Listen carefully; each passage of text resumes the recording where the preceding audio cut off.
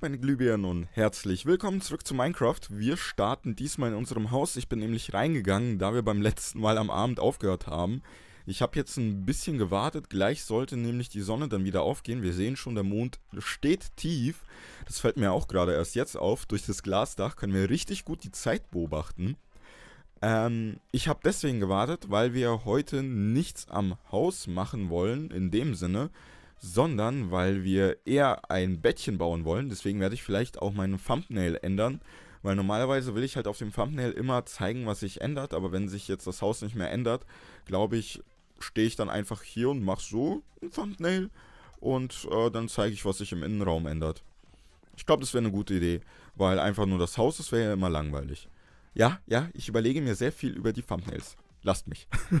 äh, heute soll es darum gehen, dass wir uns äh, Wolle, Wolle, Wolle, Wolle, Wolle, Wolle, äh, ich kann nicht mehr reden. Äh, Wolle wollten wir uns holen. Und warte. Sehe ich es richtig, dass der Mond aufsteigt? Ich habe doch extra gewartet. Sag nicht, ich habe den Tag verpennt. Warum steigt der Mond auf? Er sollte untergehen. Well, I'm confused right now, to be honest. Naja, stört uns jetzt nicht so sehr, weil wir sind natürlich ein Überprofi, der nicht von irgendwelchen Mobs gekillt wird. Hoffentlich.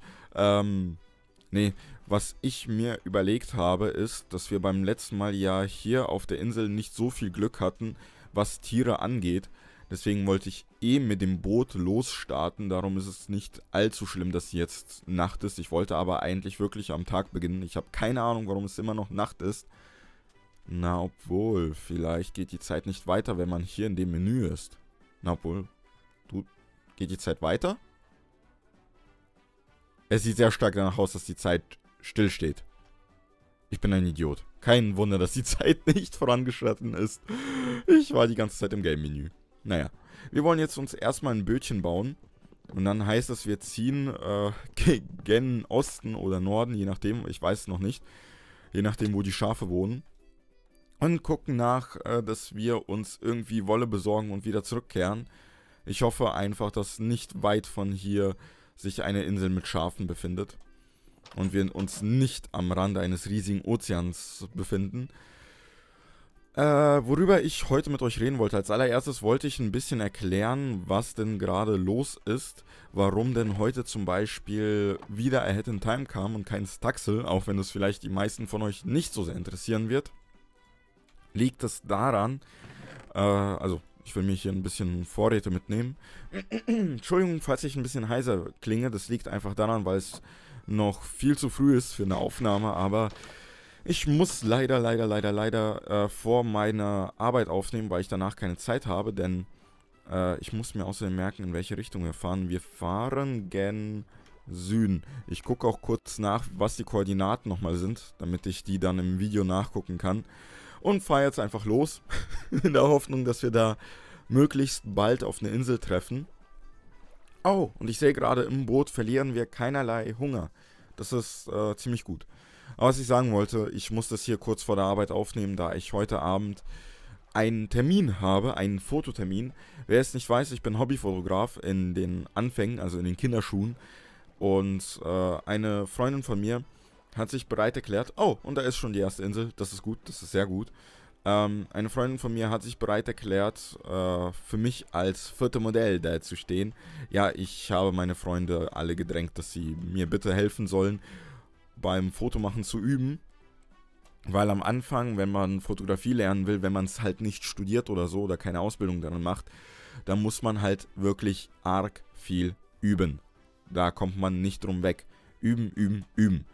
Und äh, da haben sich halt zwei Freunde von mir mal bereit erklärt, Loki-Fotos mit mir zu üben, weil ich Loki total mag. Äh, wer nicht weiß, was Loki ist, das ist halt ähm, unterbelichtet, mit unterbelichteten Fotos arbeiten. Das heißt, oder besser gesagt, ein Teil unterbelichtet, der andere Teil überbelichtet, so nach dem Motto. Und da vergiftet uns erstmal hier die Hexe. Ich habe komplett vergessen, dass die Hexen existieren nebenbei. Und wir sterben? Fragezeichen. Kann uns das Gift töten? Ich glaube, das Gift kann uns töten. Oder auch nicht. Das Gift zieht uns scheinbar nur auf äh, eineinhalb Herzen runter. Und die Hexe nervt mich. Können wir dem entgegenheilen? Heißt das eigentlich, eine Hexe kann uns alleine nicht töten oder kann sie uns auch noch irgendwie anders Schaden machen, wodurch sie uns dann im Endeffekt töten kann? Ich hatte nebenbei Hoffnung, dass das da hinten Mobs sind, aber jetzt sehe ich erst auf der Karte, dass die Symbole nicht grün sind, sondern, ähm, ja, eigentlich Mobs anzeigen. Gibt's hier noch mehr? Nee. Okay. Aber hier sind ein paar grüne Symbole. Vielleicht sind das Schafe? Eher nicht. Wann geht denn der Mond unter? Okay, bald. Also bald ist Tag und bald können wir uns äh, um die Sachen pflegen. Aber ja, Fotografie entwickelt sich langsam zu einer echten Leidenschaft bei mir. Was einfach daran liegt, dass ich nun mal Fotos mag. Ich weiß, dass ich niemals als wirklich professioneller Fotograf arbeiten kann. Aus dem simplen Grund, weil ich es erstens, wie gesagt, nicht gelernt habe, sondern nur äh, autodid autodidaktisch lerne. Und das ist äh, bei sowas wie Fotografie immer schlecht. Ähm, kann man zwar lernen, ist aber nicht so gut. So als kleine Kritik von mir selber.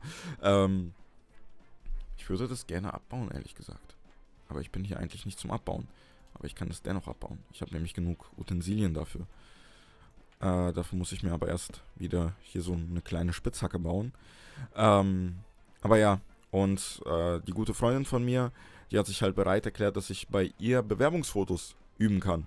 Weil sie braucht ein Bewerbungsfoto und da dachte ich, komm, bevor sie jetzt bei einem Fotografen ganz viel Geld rausschmeißt, kann ich ja mit meinem kleinen mobilen Fotostudio, was ich mir da zusammengebaut habe, also ich habe mir da ein paar Sachen gekauft und habe jetzt so ein kleines mobiles Fotostudio mit äh, Softboxen, Reflektoren, Greenscreen und so weiter.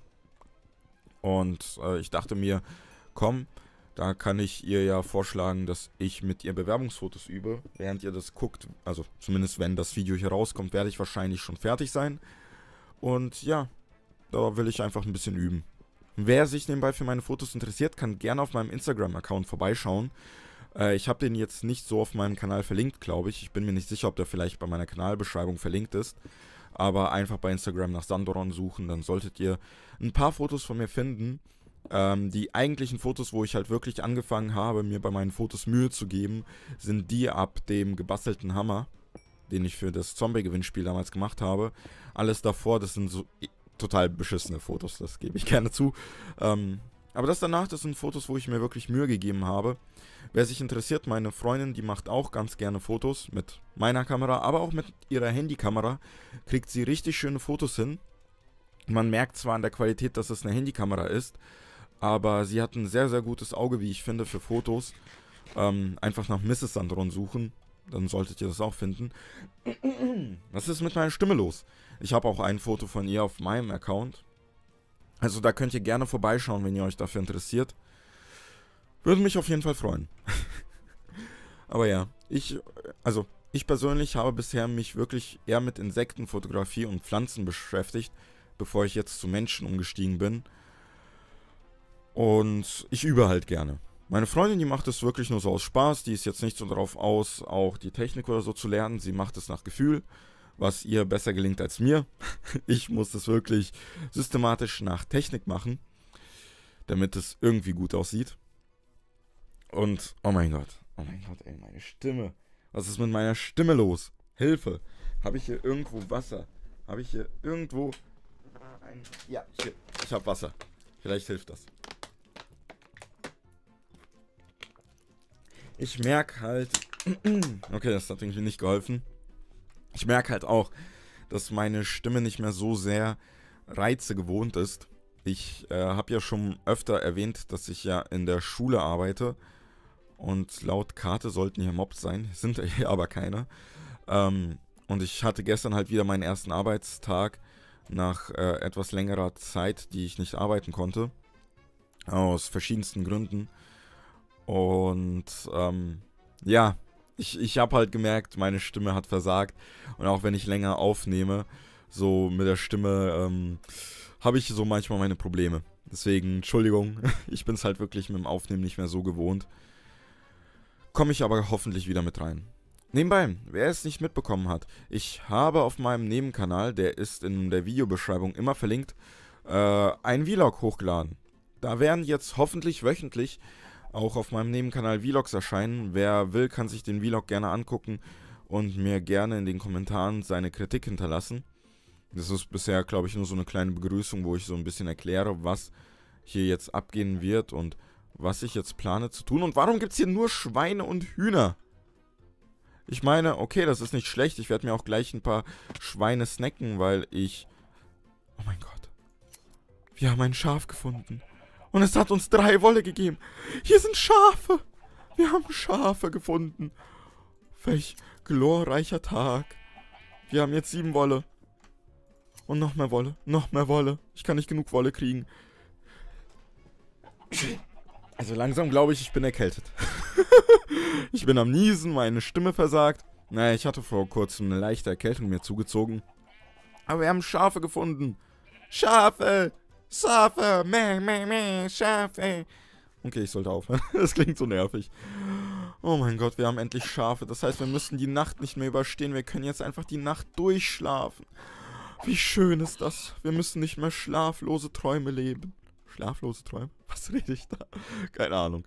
Aber ähm, ja, erstmal hier so ein paar Schä äh, Schäfchen, wollte ich sagen, Schweinchen snacken und dem Huhn dabei zuschauen, wie es in Lava versenken wird. Keine Ahnung. Warte. ich habe eigentlich erwartet, dass es in der Lava landet, aber es ist schon vorher gestorben, einfach durch unseren Schlag. Gibt es hier nochmal Schafe? Ich möchte halt nicht nochmal auf die Suche gehen, deswegen möchte ich hier so viel wie möglich mitnehmen von der Wolle, aber ich glaube, das war es jetzt erstmal hier an Schafen. Naja, acht Wolle reicht jetzt erstmal. Wir wollten ja nur ein Bett, in Anführungszeichen.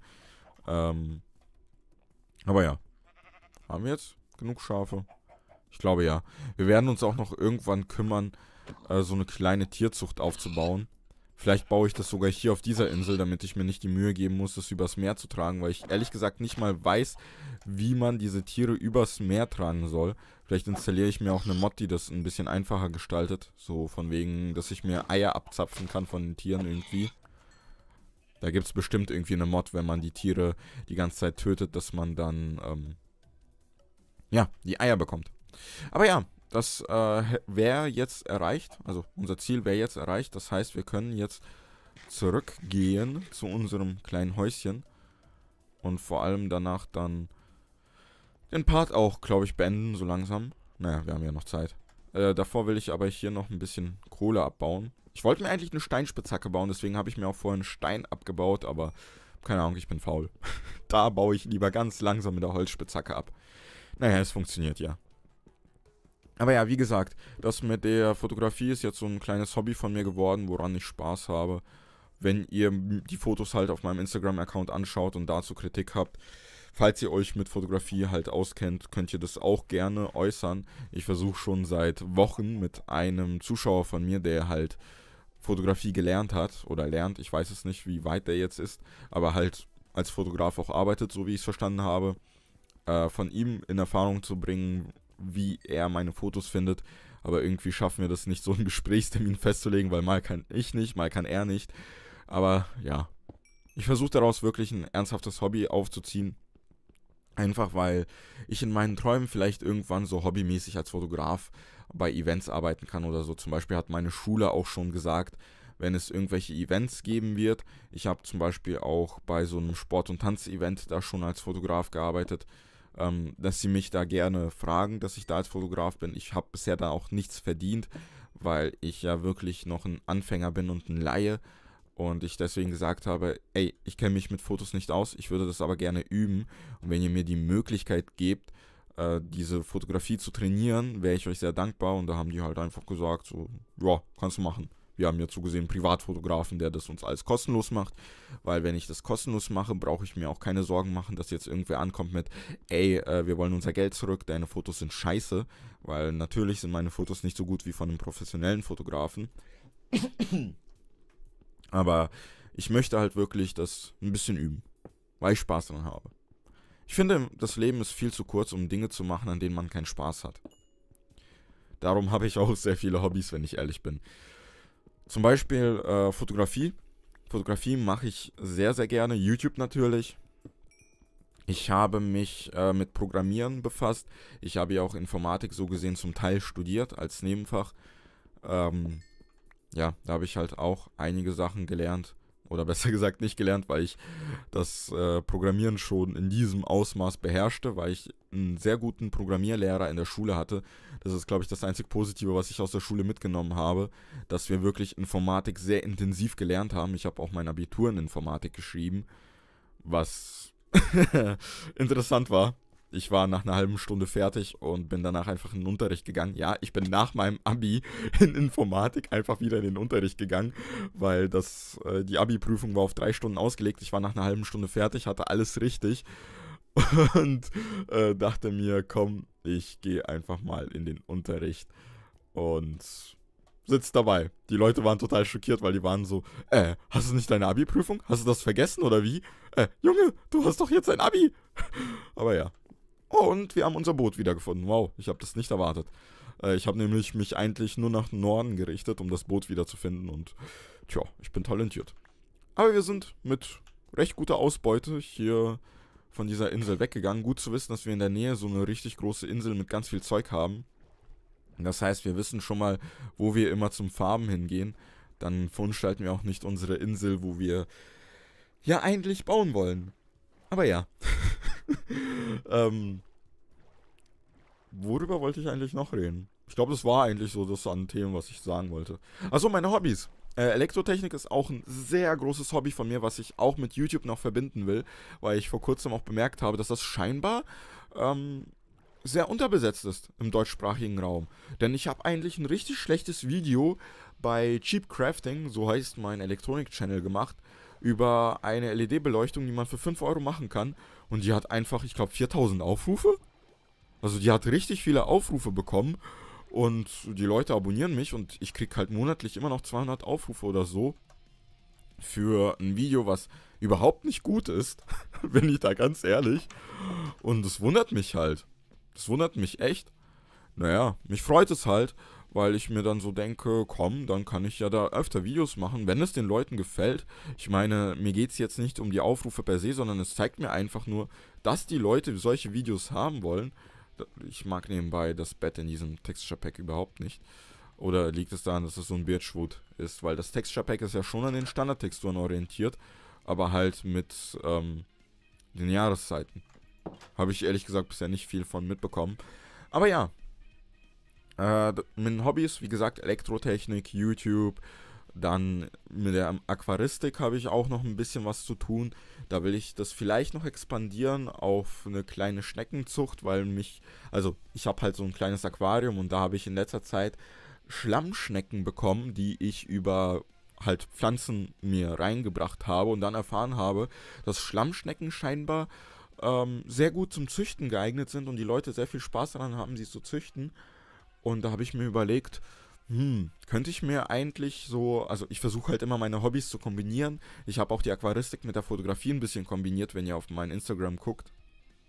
Und da habe ich mir halt so überlegt, ja, könnte ich eigentlich so Elektrotechnik mit äh, der Schneckenzucht kombinieren, dass ich mir so äh, halt so ein kleines Aquarium baue, wo ich die Temperatur regeln kann und alles und es ganz cool gestalte. Ja. und äh, halt Fotografie, Elektrotechnik, YouTube, Aquaristik und Kampfsport.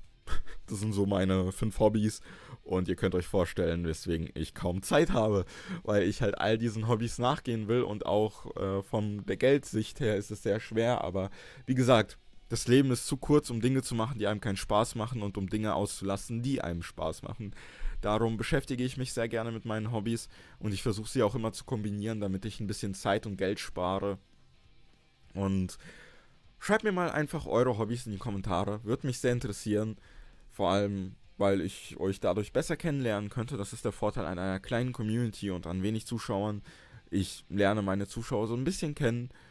Und ja, falls euch das Video gefallen hat, lasst es mich wie immer gerne wissen. Auf Wiedersehen, Leute. Euer Sandoron.